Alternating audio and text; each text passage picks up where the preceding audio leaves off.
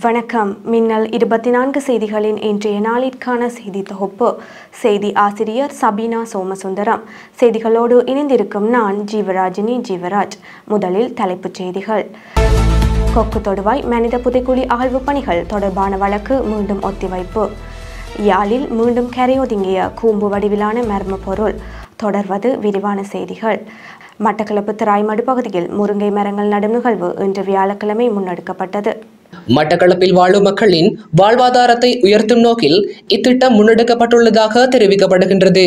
Canada Batticaloa நட்புறவு பண்ணை என்ற பெயரில் இடம்பெற்ற இந்த நிகழ்வில் கனடாவிலிருந்து வருகை தந்த டேனியல் வுட் மட்டக்களப்பு மாவட்டத்தின் அரசாங்க அதிபர் ஜஸ்டினா முரளிதரன் மற்றும் மட்டக்களப்பு மாநகர சபையின் முன்னாள் முதல்வர் தி. சரவணபவன் ஆகியோர் கலந்து கொண்டு மரங்களை நட்டு வைத்தனர். தோப்பூர் ரோயல் கனிஷ்ட பாடசாலைக்கு முதலாம் தரத்திற்கு மாணவர்களை வரவேற்கும் நிகழ்வு. பாடசாலை அதிபர் கே. எம். மர்சுக் தலைமையில் இன்று வியாழக்கிழமை காலை இடம்பெற்றது. இதன்போது புதிய மாணவர்கள் இரண்டாம் தர மாணவர்களினால் மாலை அணிவிக்கப்பட்டு மகிழ்ச்சிகரமாக வரவேற்கப்பட்டனர். இந்நிகழ்வில் முதன்மை அதிதியாக தேசிய காங்கிரஸ் கட்சியின் தேசிய அமைப்பாளர் வைத்தியர் வை எஸ் எம் ஷியா கலந்து சிறப்பித்தார். பாடசாலை கல்விக்கு மகிழ்ச்சிகரமான ஆரம்பம் எனும் துணைப்பொருளின் கீழ் நாடளாவிய ரீதியில் உள்ள சகல பாடசாலைகளிலும் இன்றைய தினம் முதலாம் தரத்திற்கு மாணவர்கள் இணைத்துக் கொள்ளப்பட்டமை குறிப்பிடத்தக்கது. மட்டக்களப்பு மாவட்டம் பட்டிருப்பு கல்வி வலய பிரிவுக்குட்பட்ட குருக்கள் மடம் கலைவாணி மகா வித்தியாலயத்தில் தரம் ஒன்றிற்கு மாணவர்களை இணைக்கும் வைபவம் வித்தியாலய அதிபர் எஸ். சிறிதரன் தலைமையில் இன்று வியாழக்கிழமை முற்பகல் எட்டு முப்பது மணியளவில் இடம்பெற்றது.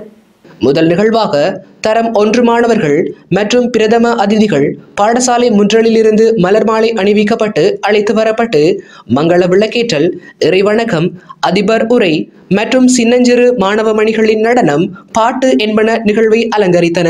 இந்த நிகழ்விற்கு பிரதம அதிதியாக பட்டிருப்பு கல்வி பிரதிநிதி திருமதி தனசேகரன் மற்றும் பாடசாலை அபிவிருத்தி சங்க செயலாளர் எஸ் செல்வராசா மற்றும் பழைய மாணவர் சங்கத்தினர் பெற்றோர்கள் பாடசாலை மாணவர்கள் விளையாட்டுக் கழக உறுப்பினர்கள் என பலர் கலந்து கொண்டனர். வடமராட்சி கிழக்கு கட்டைக்காடு கடற்பகுதியில் இரும்பிலான கூம்பு வடிவிலான கூடாரம் இன்று வியாழக்கிழமை காலை கரையொதுங்கியுள்ளது. மீன்பிடிப்பதற்காக கடலுக்கு சென்ற மீனவர்கள் இதனை அவதானித்து உடனடியாக வெற்றிலைக்கேணி கடற்படையினருக்கு அறிவித்தனர். இரும்பாலான குறித்த மிதக்கும் கூடாரத்தை கட்டைக்காடு மீனவர்கள் கரைக்கு கொண்டு வரும் முயற்சி தோல்வியுற்றதால் கூடாரத்தை அகற்றும் முயற்சியில் வெற்றிலேக்கணி கடற்படையினர் ஈடுபட்டு அதனை அப்புறப்படுத்தினர். அண்மை காலமாக வடமராட்சி கிழக்கில் கரையொதுங்கிய இவ்வாறான கூடாரங்களில் தாய்லாந்து கொடி காணப்பட்டதோடு கரையொதுங்கிய இந்த கூடாரத்தில் எந்தவிதமான கொடியும் காணப்படவில்லை என்பதும் குறிப்பிடத்தக்கது. யாழ்ப்பாணம் வடமராட்சி கிழக்கு வெற்றிலைக்கேணி கடற்பரப்பில் இன்று வியாழக்கிழமை பத்திற்கு மேற்பட்ட இந்திய இழுவை மடிப்படகுகள் நாலு மீனவர்களுக்கு சொந்தமான முப்பது லட்சம் பெறுமதியான வலைகளை அறுத்து இழுத்துச் சென்றுள்ளனர். வெற்றிலேக்கணிலிருந்து நேற்று புதன்கிழமை மீன்பிடிக்கச் சென்ற நான்கு படகுகள் தங்களது மீன்பிடி நடவடிக்கைகளை மேற்கொண்டிருந்த போது கரைக்கு அண்மையாக வந்த இந்தியன் இழுவைமடி படகுகள் அவர்களுடைய பருமதியான வலைகளை அறுத்து இழுத்துச் சென்றுள்ளனர். இதனால் ஆத்திரமடைந்த மீனவர்கள் இந்தியன் இழுவைமடி படகுகளை விரட்ட முனைந்தும் பாதுகாப்பற்ற காரணங்களால் அருந்த மிகுதி வலைகளுடன் உடனடியாக கரைக்கு திரும்பினர். இரண்டு படகுகளுக்கு சொந்தமான வலைகள் எதுவும் மிஞ்சாததால் குறித்த இரண்டு படகுகளும் எந்தவொரு வலைகளும் இல்லாமல் வெறுமனே கரைக்கு திரும்பியதை காணக்கூடியதாக இருந்தது. மிகுதி இரண்டு மீனவர்கள் சொற்ப வலைகளுடன் அவர்களும் கரைக்கு திரும்பி வெற்றிலைக்கணி கடற்தொழிலாளர் சங்கத்தினரிடம் சம்பவம் குறித்து முறையிட்டனர். இராணுவத்தின் ஐநூற்றி நாற்பத்தி இரண்டாவது படைப்பிரிவு ஏற்பாடு செய்த கலாச்சார நடன போட்டி நிகழ்வு நேற்று புதன்கிழமை மாலை மன்னார் நகர சபை மண்டபத்தில் இடம்பெற்றது. குறித்த நிகழ்வில் மன்னார் மற்றும் மடுக்கல்வி வலயத்தை பிரதிநிதித்துவப்படுத்தி பாடசாலை மாணவர்களின் குழு நடன போட்டிகள் இடம்பெற்றது. குறித்த போட்டி நிகழ்வில் விருந்தினர்களாக இராணுவத்தின் ஐம்பத்தி நான்காவது படைப்பிரிவு கட்டளை தளபதி K M P S V Kulathunga Mannar மாவட்ட அரசாங்க அதிபர் கே. கனகேஸ்வரன் பிரதேச செயலாளர்கள் திணைக்கள தலைவர்கள் பாடசாலை மாணவர்கள் என பலர் கலந்து கொண்டனர். இதன்போது பாடசாலை மாணவர்களின் கலாச்சாரத்தை பிரதிபலிக்கும் வகையில் பல்வேறு நடனம் மேடையேற்றப்பட்டது. மேலும் தெரிவு செய்யப்பட்ட பாடசாலை குழு நடன போட்டியாளர்களுக்கு விருந்தினர்களினால் சான்றிதழ் மற்றும் பரிசில்கள் வழங்கி வைக்கப்பட்டமை குறிப்பிடத்தக்கது. சட்டவிரோதமான முறையில் இலங்கை கடற்பரப்புக்குள் மீன்பிடியில் ஈடுபட்ட நிலையில் கைது செய்யப்பட்ட பதினெட்டு இந்திய மீனவர்கள் இன்று நிபந்தனையுடன் விடுவிக்கப்பட்டுள்ளனர். கடந்த ஏழாம் திகதி இரண்டு படகுகளில் பிரவேசித்த பத்தொன்பது இந்திய மீனவர்கள் நெடுந்தீவோ கடற்பகுதியில் சட்டவிரோதமாக மீன்பிடியில் ஈடுபட்டிருந்தனர். இதன்போது கடற்படையினர் முன்னெடுத்த சுற்றி வளைப்பில் அவர்கள் கைது செய்யப்பட்டு பின்னர் ஊர்காவல்துறை நீதவான் நீதிமன்றில் முன்னிலைப்படுத்தப்பட்ட நிலையில் அவர்கள் இன்றைய தினம் வரையில் விளக்கமறியலில் வைக்கப்பட்டிருந்தனர். இந்த நிலையில் குறித்த வழக்கு இன்று ஊர்காவல்துறை நீதவான் நீதிமன்றில் விசாரணைக்கு எடுத்துக் கொள்ளப்பட்டது. இதன்போது எல்லை தாண்டி வந்த பதினெட்டு இந்திய மீனவர்களும் ஐந்து வருடங்களுக்கு ஒத்திவைக்கப்பட்ட பதினெட்டு மாத சிறை தண்டனையில் விடுவிக்கப்பட்டனர். அதே நேரம் படகு ஓட்டுநர் ஒருவருக்கு ஆறு மாத கால சிறை தண்டனையும் விதிக்கப்பட்டுள்ளதாக எமது செய்தியாளர் தெரிவித்தார். இலங்கையைச் சேர்ந்த எட்டு வயது மாணவி ஜி. ஹிருஹி பினோத்தியா இந்தியாவில் பராமரிக்கப்பட்டு வரும் புகழ்பெற்ற சோழன் உலக சாதனை புத்தகத்தில் குறைந்த நேரத்தில் பத்து கிலோமீட்டர் தூரம் நடந்து உலகின் இளைய பெண் என்ற உலக சாதனையை படைத்துள்ளார். கலனி பிலப்பிட்டிய அதிபர் கல்லூரியில் மூன்றாம் தரத்தில் கல்வி கற்கும் மாணவி கடந்த பதினெட்டாம் திகதி ஒன்றரை மணி நேரத்தில் பத்து கிலோமீட்டர் நடந்து இந்த சாதனையை படைத்துள்ளார். இந்நிகழ்வில் Cholan book of world records Ilankai கிளையின் உபத்தலைவர் இந்திரநாத் பெரேரா மற்றும் சோழன் நிறுவனத்தின் உத்தியோகத்தர்கள் ஸ்ரீ நாகவாணி ராஜா ஆகியோர் கலந்து கொண்டனர்.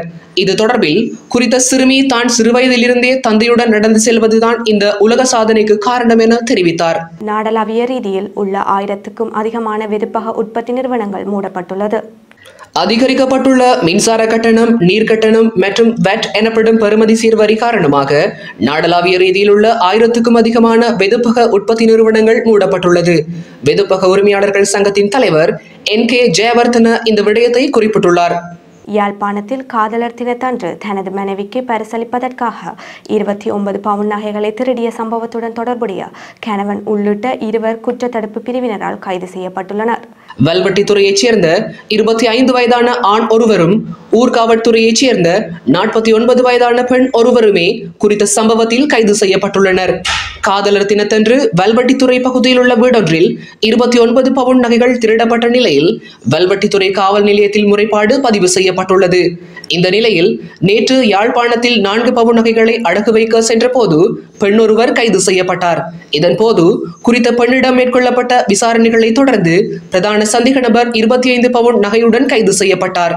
கைது செய்யப்பட்ட இருவரும் மேலதிக விசாரணைகளுக்காக வல்வெட்டித்துறை காவல் நிலையத்தில் ஒப்படைக்கப்பட்டனர்.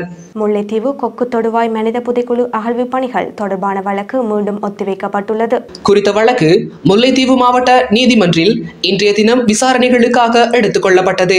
இதன்போது முல்லைத்தீவு கொக்கு தொடுவாய் மனித புதைக்குழி அகழ்வு பணிகளின் மூன்றாம் கட்ட பணிகளை திட்டமிட்ட வகையில் முன்னெடுப்பதற்கு இன்னும் நிதி கிடைக்கப்பெறவில்லை என குறித்த வழக்கின் அகழ்வு பணியில் ஈடுபட்ட தொல்லியல் திணைக்கள பேராசிரியர் ராஜ் சோமதேவவினால் இடைக்கால அறிக்கை சமர்ப்பிக்கப்பட்டது.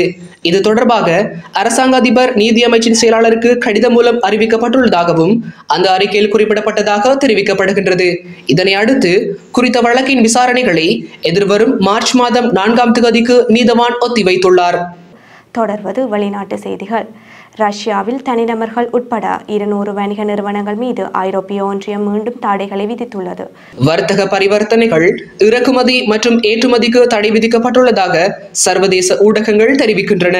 குறித்த வணிக நிறுவனங்கள் மற்றும் தனிநபர்கள் யுக்ரைனுக்கு எதிராக போரை நடத்த ரஷ்யாவிற்கு உதவுவதாக ஐரோப்பிய ஒன்றியம் குற்றம் சாட்டியுள்ளது. இத்துடன் இன்றைய நாளிற்கான எமது செய்தி தொகுப்பு நிறைவடைகிறது. வார நாட்களில் ஆறு மணிக்கு எமது செய்திகளை எதிர்பாருங்கள். நன்றி